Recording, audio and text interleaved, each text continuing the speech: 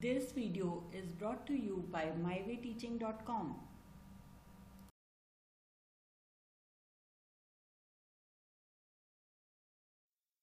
Next topic is dipole induced dipole forces.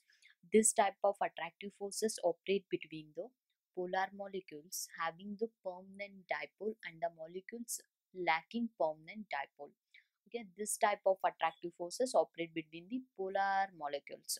So, here um, polar molecules and lacking uh, permanent dipole. Permanent dipole of the polar molecule induces dipole on the electrically neutral molecules by deforming its electronic cloud. Okay see here uh, permanent dipole of the polar molecule permanent dipole of the polar molecule. That uh, polar molecule dipole on the electrically neutral molecule it deforming its electronic cloud which is uh, i can shown in this figure. Hmm. this is the permanent dipole a polar molecule. This is non-polar molecule. Okay.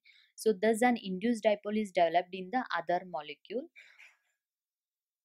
in this case also interactive energy is uh, which is uh, interactive uh, energy which is uh, proportional to 1 divided by 1 divided by r power 6 where r is the distance between the two molecules. So induced dipole moment depends upon the dipole moment present in the permanent dipole and polarizability of the electrically neutral molecule.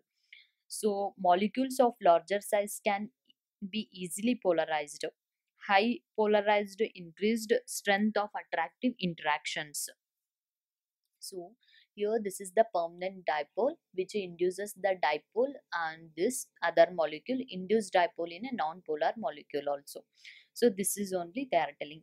In this case also cumulative effect of dispersion forces and dipole induced dipole interactions exist. Okay so this is the dipole uh, as shown in this figure dipole induced dipole interaction between permanent dipole and induced dipole. Okay so which is permanent dipole and induced dipole. Next concept is hydrogen bond i think you are familiar with the hydrogen bond. We know that this is found in the molecules in which highly polar uh, that is uh, nh bond oxygen with hydrogen hydrogen and this is fluorine. They are present. So although hydrogen bonding is regarded as being limited to only n o and f okay but species such as chlorine may also participate in hydrogen bonding. And you should know uh, that the energy of hydrogen bond varies between 10 to 100 see? Energy. Energy of hydrogen bond. Energy of hydrogen bond varies between 10 to 100 okay so 10 to 100 uh, kilojoule per mole. This is quite a significant amount of energy. Therefore hydrogen bonds are powerful force in determining the structure and properties of many compounds for example proteins and nucleic acids. Okay? See? Here they are used for determining the powerful force. The hydrogen bonds are powerful forces okay and uh, which is used to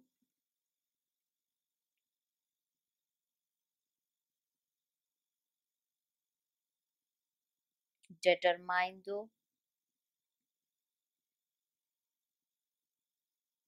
structure which is used to determine the structure and uh,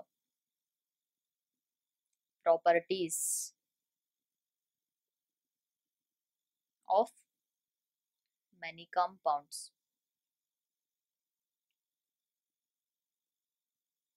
Example proteins and nucleic acids.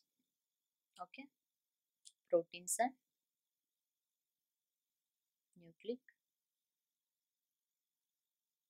acids and the strength of hydrogen bond is determined by the coulombic interaction between the lone pair electrons of the electronegative atom of one molecule and the hydrogen atom of other molecule okay?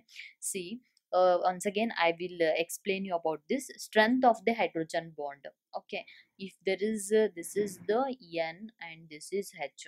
If want we want to determine the strength of the hydrogen bond this is determined by the coulombic interaction between the lone pair electrons of the electronegative atom of one molecule and the hydrogen atom of the other molecule. Okay so here there are the lone pair lone pair electrons on one molecule. This is the nitrogen okay? So the lone pair present in the nitrogen molecule and the next one is uh, the electronegative atom. So lone pair electrons of electronegative atom of one molecule and the hydrogen atom of other molecule. So this is the hydrogen atom of other molecule. The strength which is determined by these. So following uh, i will show one diagram which shows the formation of the hydrogen bond so this is showing the formation of hydrogen bond like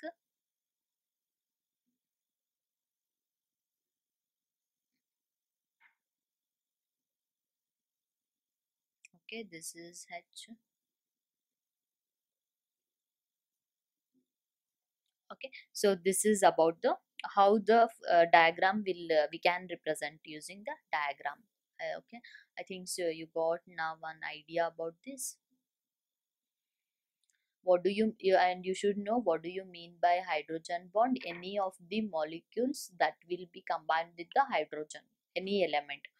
Okay the so some of these we are uh, specifying these this is limited hydrogen bonding is limited to n o and f but uh, some uh, times it is uh, uh, with chlorine also it uh, participate. Then the, you should know this is the energy 10 to 100 kilojoule per mole. Okay and next the uh, we can determine powerful forces which is used to determine the structure and properties of the many compounds. And this is the night example i am considering.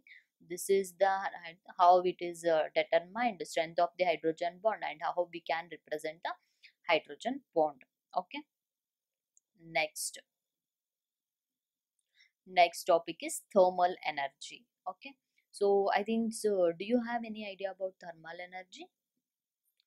Thermal energy. Thermal energy is the energy of body arising from motion of its atoms or molecules. See you but it is the arising uh, when the atoms or molecules this is considered the atom which is in a motion.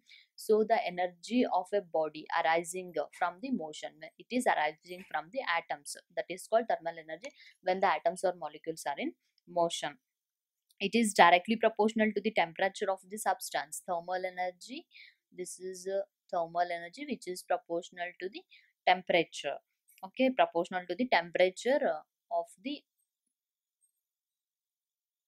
okay substance and uh, it is the measure of average kinetic energy of the particles uh, of the matter and is thus responsible for movement of particles. Okay it is the measure of average kinetic energy of the particles of the matter and is this responsible for moment of particle? This moment of particle is called thermal motion. Moment. Movement of particles is uh, known as thermal motion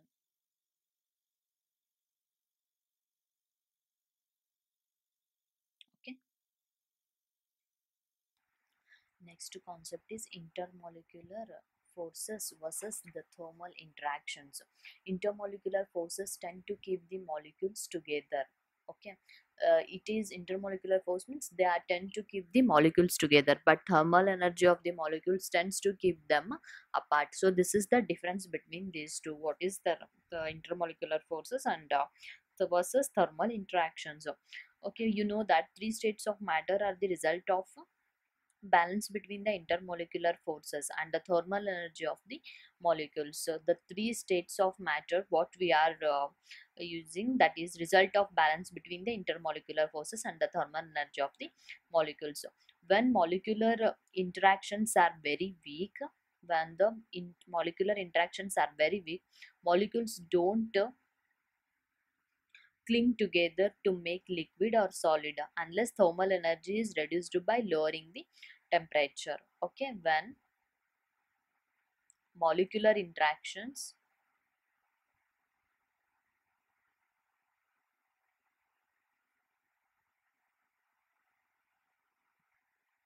interactions are very weak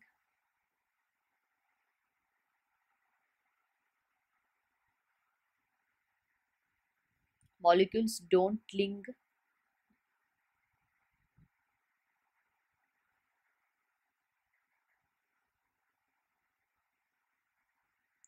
Don't link together.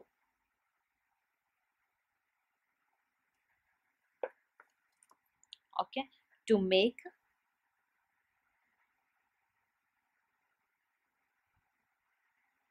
solid or liquid.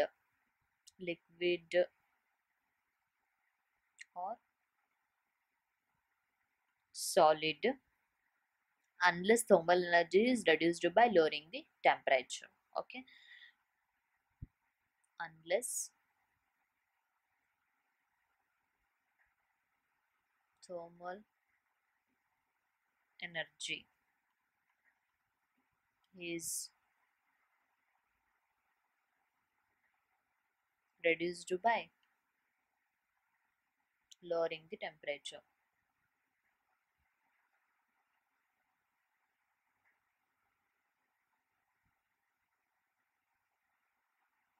okay and next is However, when thermal energy of molecules is reduced by lowering the temperature, the gases can very easily liquefied. Predominance of thermal energy and the molecular interaction energy of substance in three statuses uh, depicted. Okay, so how it is depicted? It as shown in this figure. Predominance of intermolecular interactions that is gas to liquid, liquid to solid again solid to liquid and liquid to gas predominance of thermal energy okay so this is about the intermolecular forces versus thermal interactions next i will uh, move on to the next uh, concept that is the gaseous state okay? So here in gaseous state this is the simplest state of matter okay?